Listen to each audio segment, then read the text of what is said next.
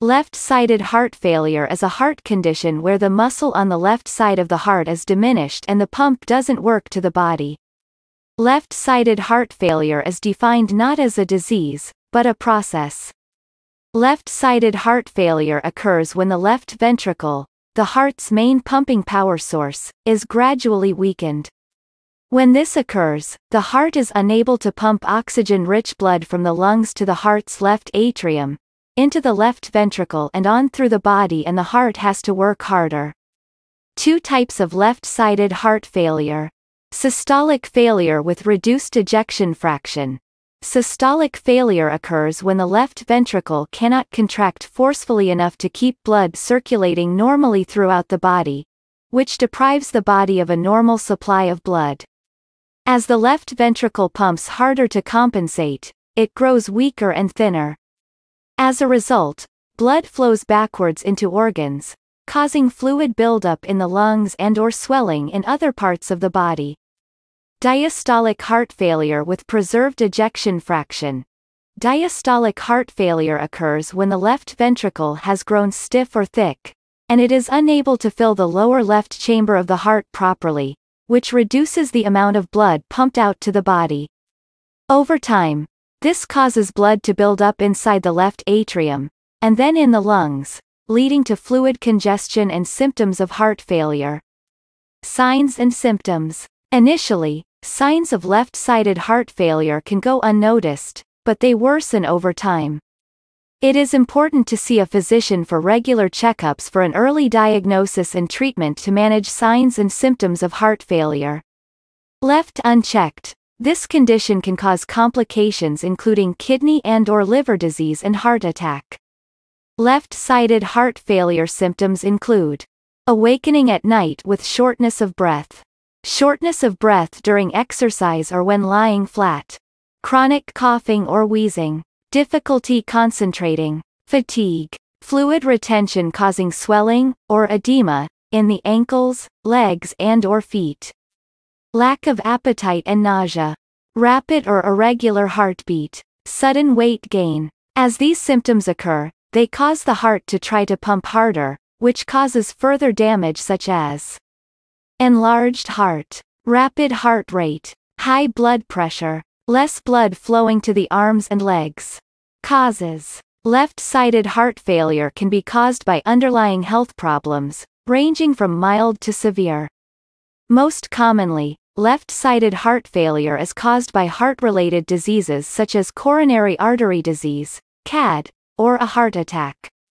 Other left-sided heart failure causes can include cardiomyopathy, cocaine use, diabetes, heavy alcohol use, high blood pressure, obesity, sleep apnea, tobacco use. Risk factors Risk factors for left-sided heart failure can include age. Men between the ages of 50 to 70 often experience left-sided heart failure if they have previously suffered a heart attack. Aortic stenosis. When the aortic valve opening narrows, it slows blood flow and weakens the heart. Blood clots. A clot in the lungs can cause left-sided heart failure. Cardiomyopathy. Heredity can cause several types of this disease that can weaken or damage the heart. Congenital heart defects. Structural heart defects may prevent proper blood circulation from the heart. Chronic diseases. Diabetes, HIV, hyperthyroidism, hypothyroidism, or a buildup of iron or protein can lead to left-sided heart failure. Gender. Men are at greater risk of developing left-sided heart failure. Irregular heartbeats. Abnormal heart rhythms, especially if they are very frequent and fast, can weaken the heart muscle. Myocarditis. This condition occurs when a virus causes inflammation of the heart. Pericardial constriction. Inflammation causes the pericardium, a sac covering the heart, to scar, thicken and tighten the heart muscle. Previous heart attack. Damage to the heart muscle may affect its ability to pump blood effectively.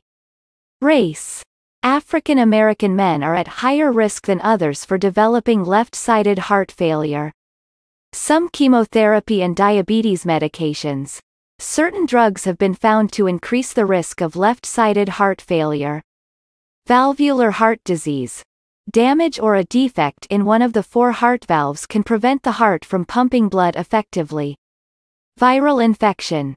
Certain viral infections can damage the heart muscle.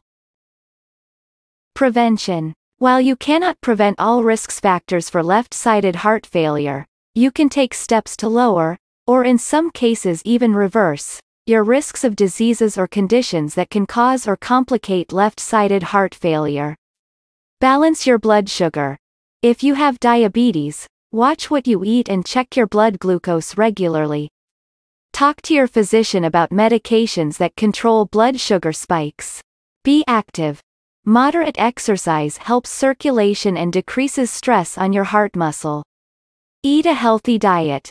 Limit salt, sugar, saturated fat and cholesterol, and eat plenty of fruit, vegetables, whole grains and low-fat dairy products. Get regular checkups. And, if you experience new or changing symptoms or side effects from medications, see your physician. Maintain a healthy weight. Losing weight and maintaining a healthy weight puts less stress on the heart. Reduce stress. Stress can contribute to a fast or irregular heartbeat. Reduce your alcohol intake. In some cases, you may need to stop drinking entirely. If you can drink, keep your intake low. Stop smoking.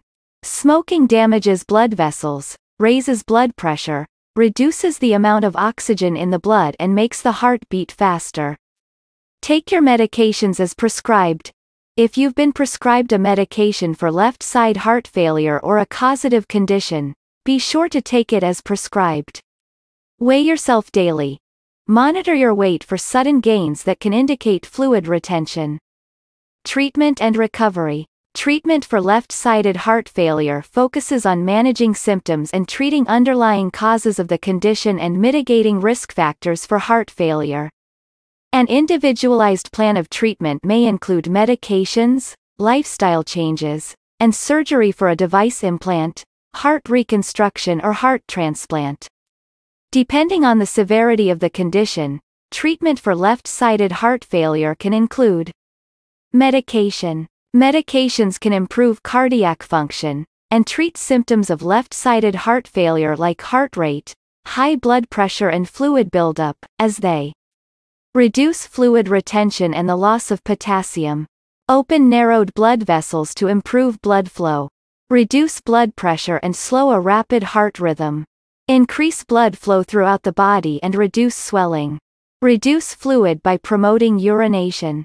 Prevent blood clots. Lower cholesterol. Lifestyle changes. A few changes in lifestyle can improve signs and symptoms and the quality of life. It is essential to follow a low sodium, low fat and low cholesterol diet. Gentle aerobic exercise is also recommended. Surgery and other procedures. If medications are not effective in managing left-sided heart failure, or if symptoms are severe, surgery may be necessary. Depending on the condition of the heart and underlying cause of left-sided heart failure, surgical options can include device implants, heart repair or heart transplant. Device implant surgeries for left-sided heart failure. Left ventricular assist device, LVAD, surgery. This device can be implanted to help a weak heart pump more efficiently, and can be a primary treatment or a temporary measure while awaiting a heart transplant. Pacemaker. This device can be implanted during minor surgery to help the right and left ventricle contract normally.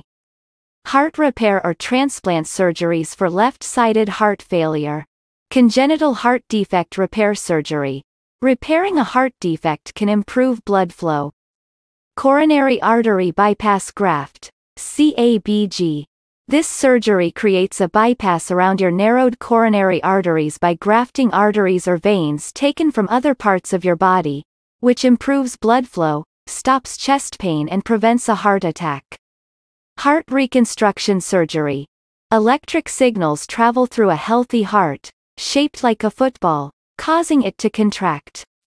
But heart damage enlarges and stretches the heart to be shaped more like a basketball, affecting electrical signals that make the heart pump less efficiently.